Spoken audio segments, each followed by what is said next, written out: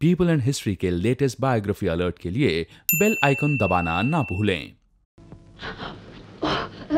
Sir sorry I am sorry sir मैं बजा नहीं रही थी सर कोई बात नहीं। बजाओ बजाओ। बजा वो मुझे बजाना नहीं आता सर आप बजाइए सर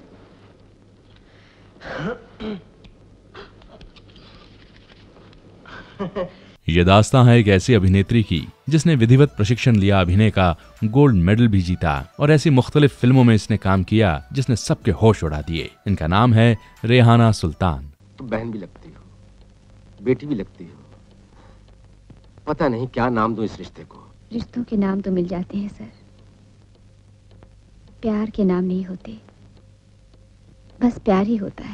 जन्म 19 नवंबर सन 1950 में हुआ। पैदाइश और तरबियत इलाहाबाद में हुई, यानी कि प्रयागराज में। जब इन्होंने ग्रेजुएशन कर ली, तब इनके पिता ने इनसे कहा कि तुम आगे क्या काम करना चाहती हो। इत्तेफाकन, रिहाना सुल्तान की नज़र पड़ी एफ़ के एक एड पर। हालाँकि ये बहुत उत्सुक तो नहीं थी, पर इनके पिताजी ने इनसे कहा कि फॉर्म भरो और जाओ, ऑडिशन दो। रेहाना सुल्तान ने कभी रंगमंच पे काम नहीं किया था, लेकिन इनके अभिनय और प्रतिभा ने जजेस के पैनल को बहुत ही मुतासर किया। इनका सिलेक्शन हुआ।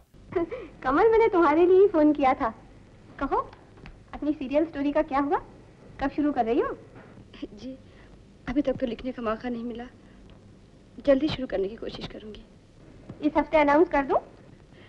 जी नहीं मैं बताऊँगी आपको। और ये एफटीआई पहुँच गई अजब बात यह है कि अपने कोर्स के पहले साल में रेहाना सुल्तान सभी सब्जेक्ट्स में फेल हो गई थी। उसके बाद महान एक्टिंग गुरु रोशन तनेजा ने इनसे कहा कि रेहाना तुम्हें मेहनत करनी होगी। तुम्हें अंदाज़ा नहीं है कि तुम में कितनी प्रतिभा है। अगले बरस रेहाना सुल्तान ने खूब मेहनत की और ये एफ़ में गोल्ड मेडल जीत कर आई। वाह वाह कमल जी क्या खूबसूरत शुरुआत है। और क्या पंकज का कैरेक्टर। और क्या उसकी अदा। है बड़े से बड़ा गम पानी का गिलास पीकर गले से नीचे उतार लेती है। और जानबूझकर भूल जाती है कि सारे गम तह में जमा हो रहे हैं। जो एक दिन ज्वालामुखी की तरह फूट कर निकलेंगे और क्या ज़ुबान है। इसके साथ ही इन्हें राजेंद्र सिंह बेदी की फ़िल्म भी मिली। फ़िल्म का नाम था दस्तक।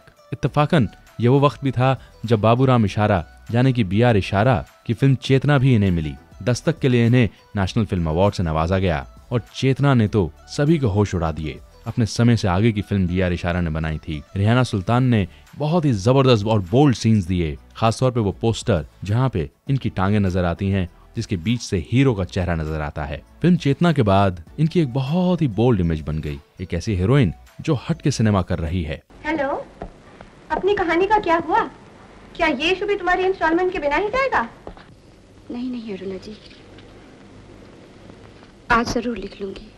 देखो याद रखना कल आखिरी दिन है। बाकी सब मैटर प्रेस में जा चुका है।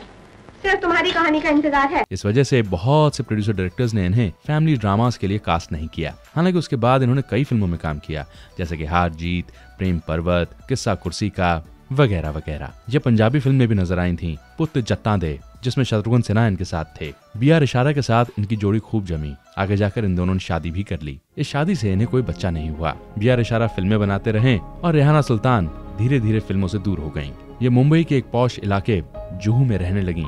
इनका एक छोटा भाई शोएब दुरानी भी आगे जाकर एक्टर बना। इस बात पर भी गौर करना होगा इनके वालिद भी एक प्रोड्यूसर थे जिनका नाम था सुल्तान दुर्रानी रेहाना सुल्तान की ज़िंदगी बड़े अजब उतार चढ़ावों से भरी रही।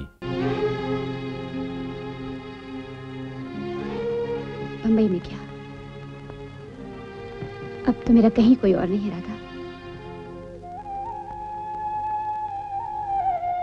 बुढ़ापे की दहलीज पे जब इन्होंने कदम रखा तो कोशिश की ये दोबारा फ़िल्मों में या फिर टेलीविज़न सीरियल्स में एक्टिंग करें, पर काम जरा कठिनाई से ही मिला। ये चित्रांगदा सिंह की माँ का किरदार निभाती नज़र आई थी फ़िल्म इनकार में।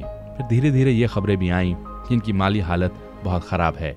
इनके पति बी आर इशारा का इंतकाल हो गया और उसके बाद ये काफ़ी अकेली हो गई।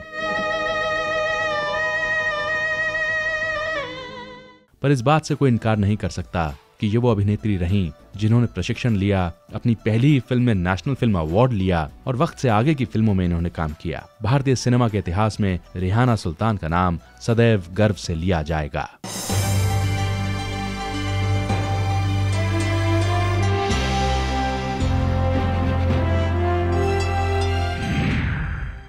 महान प्रतिभाओं के जीवन के बारे में जानने के लिए सब्सक्राइब करें पीपल एंड हिस्ट्री।